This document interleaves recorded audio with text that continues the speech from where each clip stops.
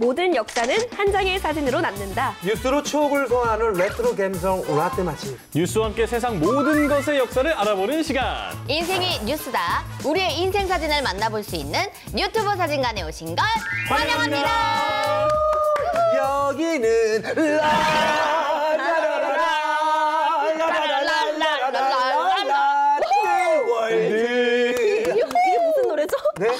랍송과 라떼월드를 아, 제가 그렇죠. 한번 편곡해봤어요. 아, 어, 오, 이거 너무 신나는데? 콜라보. 맞아, 맞아. 오. 태진 아, 선생님, 진짜 제 태진 선생님 목소리 좀 닮았다 그래가지고.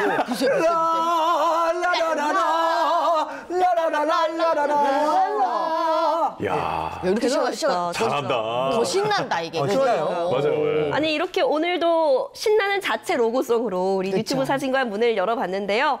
아 사실 어떤 분위기에서든 이 음악이 더해지면 신이 나는 것 같아요. 맞아요. 그러니까요. 그 저 같은 경우에는 그 여러 개그 코너가 그 음악의 베이스로 완성된 것들이 참 많습니다. 오, 그러네요. 디즈이변이라는 아, 맞네. 코너도 있었고 어. 또 고음불가라는 한때 가수로 활동을 했거든요. 그쵸. 자, 그리고 맞아, 맞아. 최근에 힙제이까지 아, 힙제이. 이, 이. 근데 음악이 없었다면 저의 개그도 사실 탄생하지 못했을 것 같아요. 아, 맞습니다. 아, 자, 지금은 사실 좀 어렵지만 우리 한국 사람들은 이제 흥이 올라오면 그냥 바로 노래방 가서 소리 지르면서 스트레스도 풀고 그래야 되는데 맞아요. 좀 코로나 때문에 좀 그런 풍경이 좀 많이 사라졌죠. 맞아요. 그래서 저는 개인적으로 그 운전을 하면서는 항상 큰, 노로, 큰 소리로 노래 부르면서 좀 힐링을 하곤 합니다. 네. 아, 요즘은 또 어떤 노래를 부르세요? 제가 요즘에 갑자기 그 김현우 씨 노래가 너무 좋아서 어. 그 사랑한다는 흔한 말 있잖아요. 아. 그 노래 아시죠? 예. 사랑. 사랑한다는 흔한 아, 아니 근데 저 진짜 깜짝 놀란 게 네. 유튜브에 그 나오시는 그 아나운서 분들 이제 네, 네, 같이 네. 했잖아요. 네, 네. 오실 때마다가 어떻게 이렇게 다 노래를 못 하시는 건지. 그게 아니라 나는 노래 그래도 다 이제 들으면 알거든요. 들으니까 야. 더 모르겠어. 아니 아니, 이렇게 정색을 하시네 또. 나는 기대를 많이 했거든. 사랑한다는 아 뭐지 이게 왜, 왜, 아- 선배님까지 왜 그래요? 나 전염되나 봐. 이거 약간 어버이 노래랑 그 스승의 날 노래랑 합쳐지는 그런 느낌인데. 아니 뭐 아나운서가 노래만 잘하면 되죠. 아 노래만 잘하면 되죠. 그렇죠. 죄송합니다. 노래 연습을 그렇게 하셨으니까. 어. 뉴스만 잘하면 되죠. 아니 제가 뭐 노래는 잘 못하지만 그래도 또 듣는 건 좋아하거든요. 자 그런데 이 음악 감상만 놓고 봐도 이 세대에 따라서 그 감상 방법이 많이 다르잖아요. 네. 자 그래서 오늘 뉴튜브 사진관에서는 시대별 음악 감상의 변천사를 살펴볼까 합니다. 자 다들 추억에 푹 빠질 준비 되셨죠? 네. 네. 자 그럼 지금부터 함께 보겠습니다. VCR start. The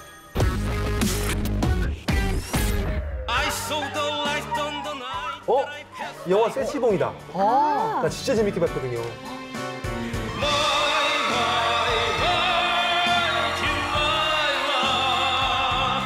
이게 바로 세시봉.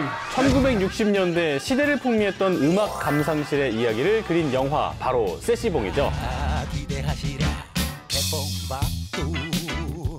지친 삶을 위로하고 즐거움을 더해주는 음악. 인간은 오래전부터 음악을 사랑하고 즐겨왔는데요. 그렇다면 이 음악을 처음 저장하기 시작한 건 언제부터일까요? 아, 음악을 저장했다. 와. 생각을 안 해봤네.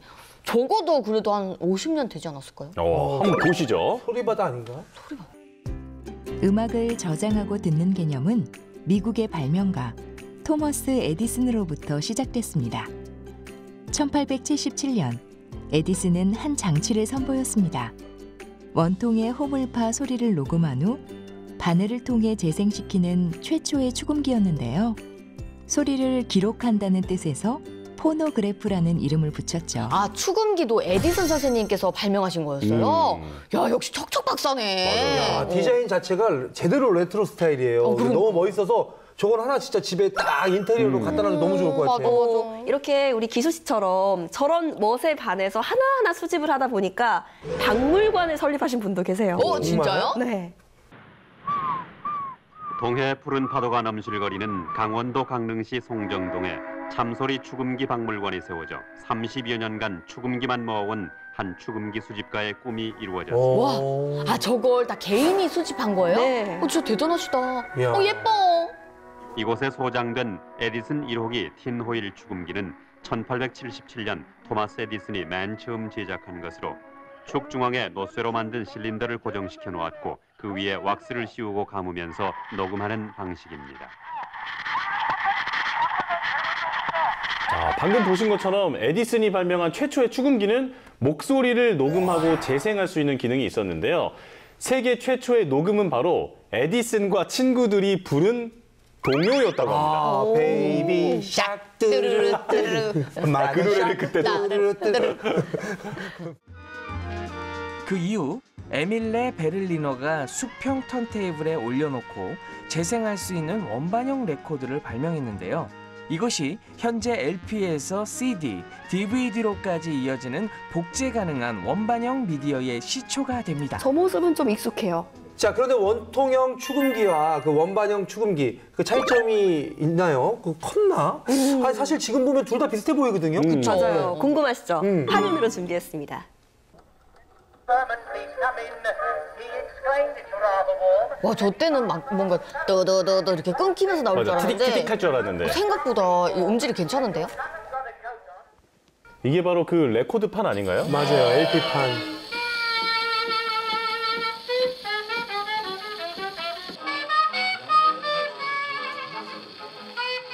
자, 방금 들어보신 것처럼 원통형 축음기가 음질이 조금 더 좋죠. 어, 맞아요. 네, 그런데 이 복제가 훨씬 빠르고 편리하다는 점에서 상품화가 유리했던 원반형 축음기가 더 각광받게 됐다고 합니다. 어허. 이렇게 원반형 저장 매체를 통해서 소리를 저장하고 복제해서 재생하는 gramophone의 등장으로 관련 산업이 점차 확대하기 시작하는데요. 1917년부터 유럽과 미국 등 서구권 나라에서는 축음기와 레코드가 대중화되기 시작합니다. 자, 그리고 1925년에는 전기를 이용해서 재생되는 전기 축음기가 등장하죠.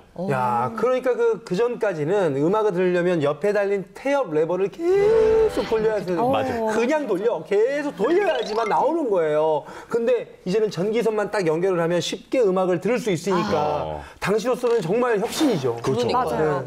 이 기수 씨가 라떼를 추억하면서 떠올렸던 그 이름 바로 전축이 아, 전투 더 축. 예. 그렇죠. 전기 축음기의 줄임말이라고 하네요. 그렇죠. 아, 그게 전기였구나. 그냥 전축인 줄 알았지, 나는. 어, 저도 저도.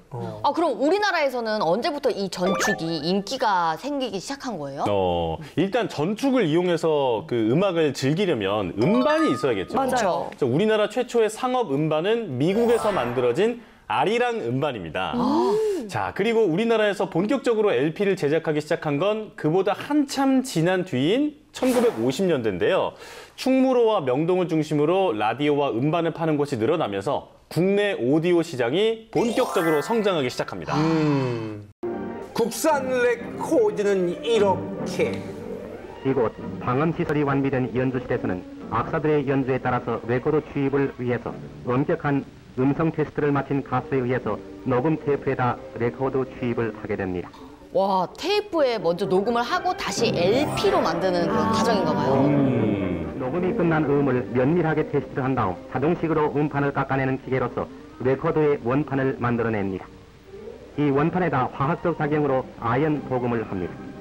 이렇게 해서 도금이 끝난 레코드 원판과 합성 수지로 혼합을 한 원료를 압축기에 넣어서 레코드를 압축 제품하게 되는 것입니다. 음. 야, 저렇게 섬세하게 만들었었네요. 그러니까 저렇게 복잡한 과정이 있을 거라고는 생각 못했어요. 저도요, 저도. 8.15 해방 이후 우리나라 레코드계에서 꾸준한 연구와 많은 경험을 통해 질적으로나 기술 면으로나 일본 레코드를 능가하는 견고하고 좋은 레코드를 이렇게 해서 하루에 2천여 매씩 만들어내고 있습니다.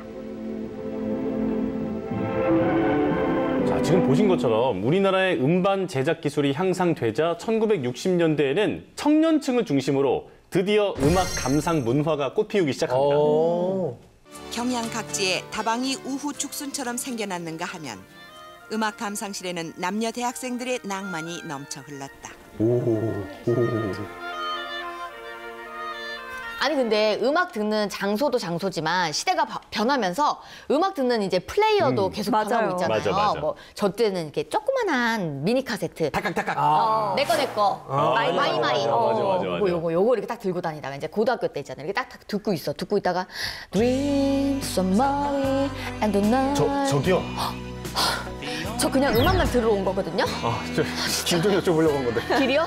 저 길치예요 저리 가세요 아니, 왜 괜히 화를 내는 거야? 야 영어 해석하고 있다 진짜 이렇게 듣고 있으면 남학생들이 와가지고 뒤에서 등 치고 뭐 난리가 났었어요. 아니 그리고 아? 혼자 이렇게 음악 감상하고 있는 모습이 분위기 있어 보여요. 아, 그래? 나 지금 괜찮아. 아니 아니. 그러니까 아니 아니라니. 아니 아니라니. 여자가 아니라면 진짜 아닌 거거든요. 아 니 지금 뭐, 뭐 하자는 거예요? 아유 정말. 아유 정말. 소영 씨는 그 학창 시절에 그 미니 카세트 플레이어로 그 음악을 들었다면 네. 라떼 세대들은 이걸로 음악을 들었습니다. 어떤 거요? 여러분들, 아, 그거 선배님 뭐 되게 좋은 전축으로 거- 들으신 거 아니에요? 에이, 그 자, 뭐 가져오셨나 본데? 아유, 아유, 아유. 어 뭐야 뭐야? 오! 어 이거 옛날 우리 할머니 집에 있었어. 딱 해가지고 여기서 LP판 딱 해가지고 후 불어가지고 한 바퀴 싹 돌려주고 여기다 딱 올린 다음에 지직 지직 한 다음에 여기 이칸 살짝 표시된데 그 다음 곡은 거기부터 아, 진짜요? 눌렀어요 이렇게 이렇게 딱 마디가 마디가 돼 있거든요. 그게 트랙이었어요. 네, 나이테처럼 이렇게 돼 근데 있는데 요즘에 트랙. 이런 LP판 카페들도 되게 많이 생겨서 저도 가봤거든요. 아, 네. 이 감성을 진짜 따라가지 못해요. 오늘도 여러분 저희 둥지다방에 찾아주신 여러분 진심으로 감사드리면서요. 둥지다방이요? 자 오늘 앞에 계시는 박소영 씨가 신청해 주신 노래네요. 아, 비틀즈가 부릅니다. Let, Let, Let 외국 노래 나갑니다. 아, 여기 이런 거 있었거든요. DJ가 영어를 몰라. 아, 지금 LP판을 또 직접 보니까 새로운데 이렇게 LP에서 카세트 테이프로 음악 저장 매체 세대 교체가 이루어지면서 이제 음악 플레이어도 점점 소형화되기 시작했습니다. 자, 그러면서 음악 감상에 대한 공간의 제약이 사라지니까 이제 우리가 음악을 감상하는 방법이 많이 달라지게 되거든요. 야 1970년대 말 음악 저장 매체에 또 한 번 변화의 바람이 일었습니다. 걸어다니며 음악을 들을 수 있는 휴대용 카세트 플레이어가 등장하며 카세트 테이프의 열풍이 시작된 겁니다. 이 휴대용 카세트 플레이어가 등장하면서 언제 어디서나 음악을 들을 수 있다는 장점이 생겼죠. 당시 광고 영상 더 만나볼까요? 친구의 모습처럼 오, 내꺼 내꺼. 아,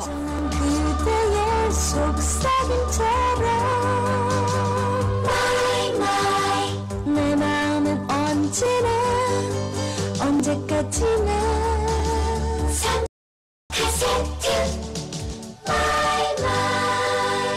충전은 물론 auto reverse까지 돼요 오 auto reverse. 아 이게 auto reverse. 야 auto reverse가 뭐냐면 예전에는 auto reverse 되기 전에 참 나 진짜 이걸 모르네. 자 A면과 B면이 있어요. 자 이쪽에 그러면 노래가 여덟 곡 들어가 있고 이 뒤에도 여덟 곡. 옛날에는 한 열여섯 곡, 열네 곡에서 열여섯 곡은 기본으로 앨, 앨범 하나에 들어 있었거든요. 그러면 그걸 뭐, 다 하나에? 못 따라.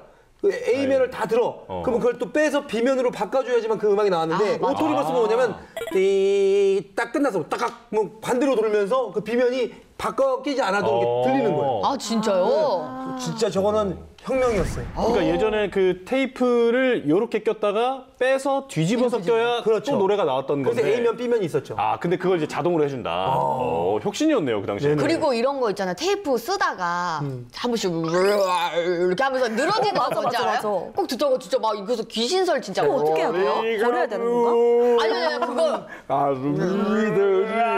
도다. 이거 어 놀래가지고 그 때는 딱 처방이 있었어. 요거 해서 못 쓰는 거 아니에요? 아니 아니 다시 이렇게 반대로 살짝 돌린 뒤에 이게 좀 이렇게 한번 쪼여. 어. 쪼인 다음 냉동실에 탁 넣어놔. 오. 그럼 또 이게 또 기가 막히게 팽창되게, 또 팽창되게. 어, 팽창되게 해놔. 와. 어, pen 수, 축소되게 하는 거 아니에요? 수축되게? 아, 내가 반대로 알아- 얘기했네요. 반대로 그럼 더 늘어지겠네. 그러니까 수축되게 딱 해야지. 그럼 또 이게 일시적으로 또 괜찮아진다. 오, 신기하네. 또 왠지 내가 막 만능 엔터테인먼트 된 느낌이지. 어, 라떼 이모네요. 뭔 소리예요? 어, 나또 이거 왜 알고 있어? 아우, 진짜. 자, 1980년대까지 음악 감상 문화의 선두에 있던 테이프는 90년대 들어서면서 그 인기가 조금씩 식어가기 시작합니다. 왜? 바로 콤팩트 디스크. 뭐죠? CD. CD가 등장했기 때문이죠. 오. 1990년대부턴 디지털 매체가 본격적으로 주목받기 시작하며 CD 음반이 황금기를 맞이했는데요. 이제 익숙한 물건이 나오네요, 저한테. CD는 가요계 르네상스 시대를 함께하며 폭발적인 성장을 이뤘습니다. 어, 아니, 제가 저 CD 세대였거든요. 너무 반갑네요, 보니까. CD 플레이어라고 했죠. 맞아요. CDP. 아, CDP, CDP. 네, 아. 맞아요. 그 CD가 나오고 제일 좋았던 게 그 버튼만 누르면 원하는 트랙을 바로바로 이동해서 들을 수 아. 있어서 그게 진짜 너무 좋았던 것 같아요. 그, 안 그래서 옛날 딱 빨리 갈게 하면 따다다다다다다다다다 이랬었잖아. 예, 해가지고 잘못 맞추면 또 다시 뒤로 떠. 다시 아. 그러다가 배터리 다 나가. 오. 음, 진짜. 근데 이렇게 뜨겁게 달궈진 음반 시장의 열기가요. 이것이 등장하면서 급격하게 냉랭해지기 시작합니다. MP3가 뜨고 있습니다. MP3. MP3란 컴퓨터에서 들을 수 있는 오디오 파일의 한 종류로 일반 CD와 비슷한 음질을 유지하면서도 파일의 크기는 12분의 1 정도로 압축시킨 것입니다. 전화선 모뎀을 통해서 불과 몇 분이면 노래 한 곡을 전송받을 수 있어 네티즌들의 인기를 끌고 있는 것입니다. 아, 이 시기에는 인터넷과 디지털 기술의 발달로 정말 많은 것들이 변했죠. 음악 감상 문화 역시 예외일 수는 없었네요. CD를 사게 될 경우에 좋아하는 곡이 한두 곡밖에 없지만 MP3 파일을 듣게 되면 음, 좋아하는 곡만 들을 수 있으니까 여러 가지 편리해서 많이 즐겨 듣고 있습니다. 더구나 컴퓨터에서만 들을 수 있던 MP3 파일을 들고 다니면서 들을 수 있는 제품들까지 속속 선보이면서 MP3의 인기는 더욱 높아지고 있습니다. MP3 파일을 이렇게 많이 듣는데요. 이제 한 해쯤 있으면 괜찮다는 생각이 들더라고요. MP3의 시장 규모는 매우 크다고 하겠습니다.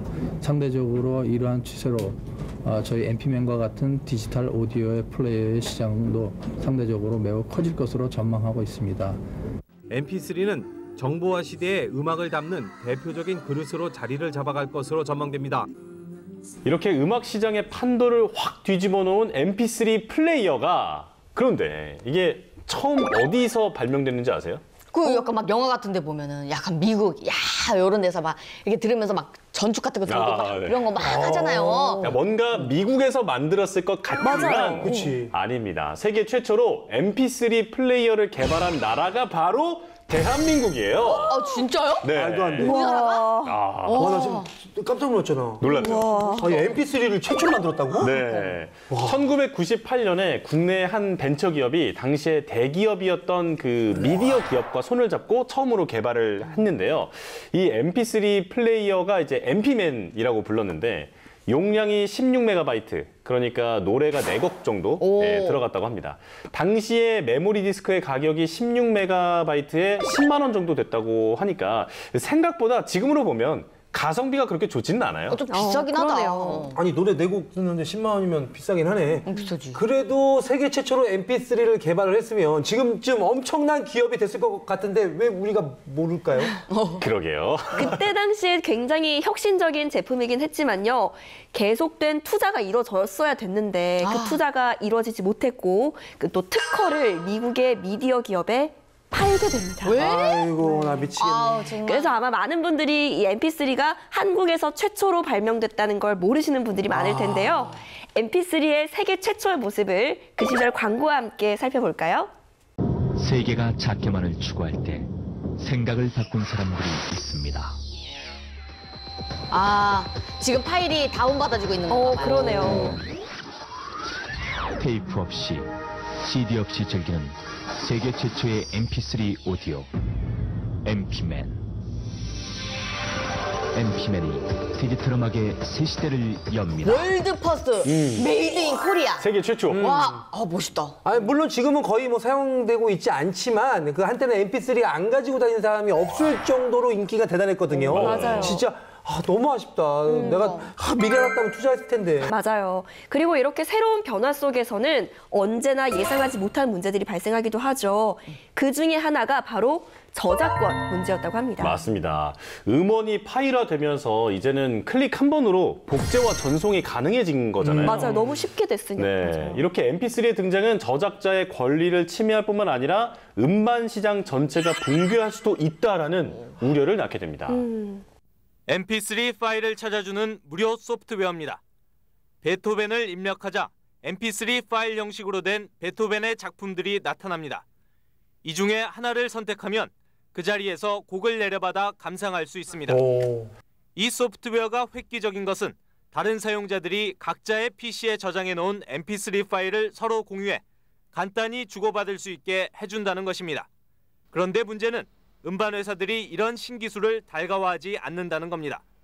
대가를 지불하지 않은 불법 복제라는 이유에서입니다. 사실 듣는 우리는 좋지만 창작자 입장에서는 이렇게 불법 다운로드하면은 정말 속상한 일이거든요. 아, 그럼 당연하죠. 가수들의 노력을 뭐 도둑질을 한다 이런 이런 의견도 있지만 아무래도 음반을 무료로 들을 수 있고 신곡 같은 것도 더 빨리 들을 수 있잖아요. 아무래도. 그 음악을 좋아하는 일반 사람으로서는 상당히 환영할 만한 일이라고 생각하는데 또 이 법적 분쟁이 계속 앞으로도 더 지속되고 문제가 계속 불거지지 않을까 그게 좀 우려스럽고요. 공개와 공유라는 인터넷 정신과 지적 재산권 보호라는 상반된 가치의 조화. 인터넷 시대에 풀어야 할 또 하나의 숙제입니다. 맞아요. 저 이렇게 이 저작권 문제는요. 긴 법정 공방 끝에 2007년이 되어서야 소리바다의 음악 공유 서비스 중지로 결말이 나게 됩니다. 맞아요. 요즘은 거의 뭐 스마트폰이나 뭐 AI 스피커로 뭐 틀어줘 막 이런 얘기 많이 음. 하잖아요. 그래서 음반을 소장한다는 이 개념이 사라진 것 같은데. 그 예전에는 막 앨범을 사서 막 자켓 사진도 보고 그리고 거기에 적힌 가사지 있잖아요. 음. CD 이렇게 이렇게 옆으로 쭉 빼면은 거기에 가사지 가사 있잖아요. 맞아요, 맞아요. 거기랑 그거 보면서 같이 따라 부르고 있었는데 그 종이 뒤에 그죠? 어, 예. 그런 시절이 좀 그리워지는 음. 것 같긴 해요. 지금 CD 얘기를 하면서 LP판 그 가사집을 뺐거든요. 어, 무슨 봤을 때 얘기예요?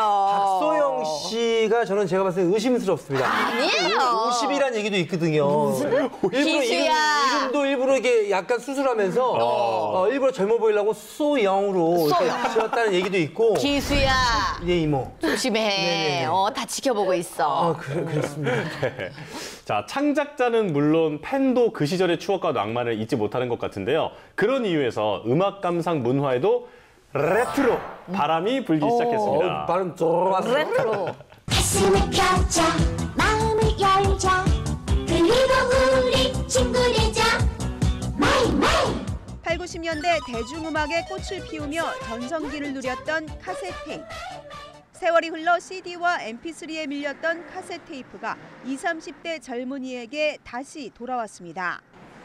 올해 27살 이현민 씨도 하나둘 모은 카세트 테이프가 벌써 50개를 훌쩍 넘었습니다. 저 맛이 있지. 부모님께 물려받은 것부터 새로 산 것까지 마치 골동품을 수집하듯 모으고 듣는 재미에 푹 빠졌습니다. 카세트 테이프 겉 표지가 되게 재밌잖아요. 막 요즘은 CD나 막 더 좋은 것들이 많지만 이렇게 가사도 보고 이런 재미 매력인 것 같아요. 오, 예! 예, 내가 에미난 베임! 국내외 스타들은 발빠르게 카세트 테이프로 앨범을 내놨습니다. 에미넴, 노라 존스를 비롯해 인디밴드 코가손, 힙합 프로듀서 코드 쿤스트 등입니다. 그룹 샤이니는 지난달 정규 5집 앨범을 카세트 테이프로 발매했는데 천 장 한정판이 하루 만에 모두 판매됐습니다. 아, 저렇게 내셨구나. 대부분 20, 30대 소비자들로 굳이 음악을 듣지 않더라도 기념품을 구매하듯 사고 있습니다. 생소하지만 되게 재밌는 물건이라고 생각을 하시고 구매를 하셨던 것 같아요. 그래서 소장 가치를 좀 느끼지 않으셨을까. 소장한다는 것 자체가 이제 흥미로운 거네요. 근데 저분들은 저 카세트 테이프를 사서 어떻게 들었을까요? 그러게요. 소장만 하지 않을까요? 소장만 하시는 건가? 서울 세운상가에는 카세트 테이프 플레이어를 사러 오는 젊은이들이 부쩍 늘었습니다.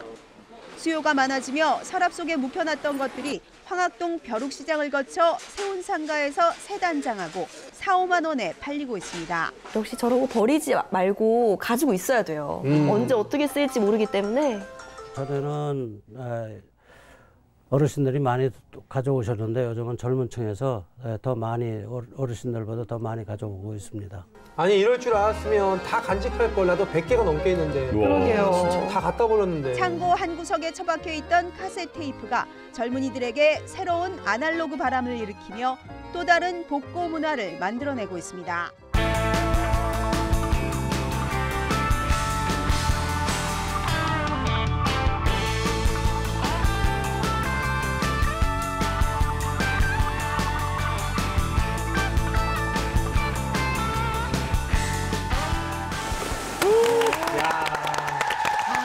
오랜만에 마이마이 보니까 진짜 너무 기분이 색다르다. 어, 맞아요. 저는 그 아까 전축 막 가지고 나오시고 LP판 들고 나오시고 했을 때는 사실 좀 공감을 못 했다가 MP3부터 이제 굉장히 신나는 마음으로 녹화를 했어요. 젊은 척하고 있네. 요, 요만한 MP3 있었잖아요. 그 이렇게 요만 G, 어, G 모양, 모양. 어, G 모양. 아, 귀 돌려서 하는 어, 귀 거? 돌려서 하는 거. 맞아요, 맞아요.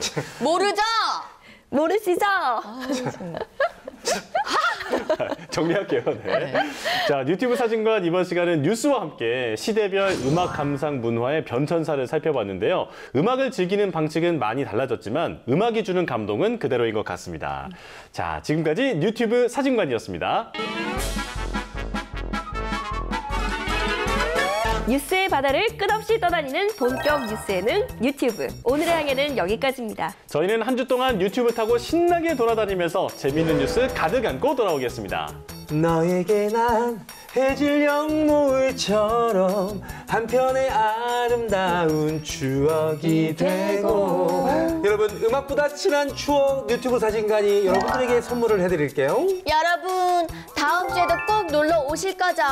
우리는 유튜브 전에 생일 선물로 그거 받았었는데. 뭐요, 뭐? 이연도 일집 사자우 아아우 아아우. 뭐지? 아, 어, 저 아는 사람이 있을 공감이 안 거야. 돼. 생전 처음 들어봤어요. 공감이 아시죠? 안 지금 공감이 안 돼. 아시죠? 예. 아니, 뭐지? 제발 우리 때 건들지 마. 나이 때 40대 이상들이 알게 하, 예, 니네 알려고 하지 마. 너네 누구도 알고 나 MPC 사용 안 했으니까. 듣고 있어. 듣고 있다가 Dreams Summary and the night. 저, 저기요. 저 그냥 음악만 들으러 온 거거든요. 아, 저, 길좀 여쭤보려고 한 건데. 길이요? 네. 저 길치예요. 저리 가세요. 아니, 왜 괜히 화를 내는 거야? 야! 영어 해석하고 있다.